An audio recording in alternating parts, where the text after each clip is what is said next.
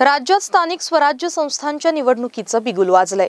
अहमदनगर जिल्ह्यातील कर्जत नगरपंचायतीसाठी दोन दिग्गज नेत्यांची प्रतिष्ठा पणाला लागली आहे एकीकडे राष्ट्रवादी काँग्रेसचे आमदार रोहित पवार तर दुसरीकडे भाजप नेते आणि माजी मंत्री राम शिंदे असा सामना आता रंगणार आहे.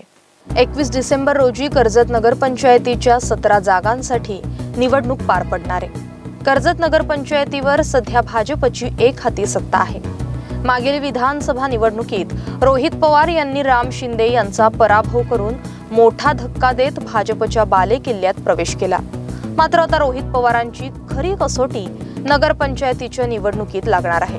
रोहित पवारांसाठी ही निवडणूक प्रतिष्ठेची असेल तर शिंदे यांच्यासाठी ही अस्तित्वाची लढाई आहे. त्यामुळे हे दोन्ही नेते सर्व ताकद लावून कामाला लागलेत. दरम्यान या निवडणुकीत विजय आमचाच होणार नगरपंचायतीच्या सतरापैकी सतरा जागा आम्हीच जिंकणार असा दावा रोहित पवार यांनी व्यक्त केलाय.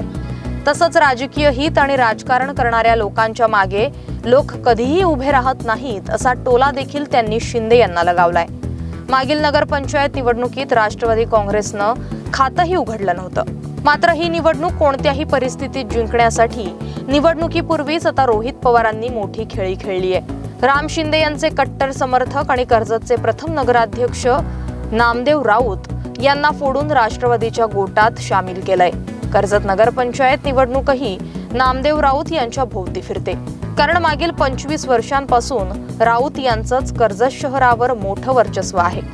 त्यामुळे राऊत यांना राष्ट्रवादीत सामील करून घेतल्याशिवाय ही निवडणूक रोहित पवारांसाठी सोपी नव्हती.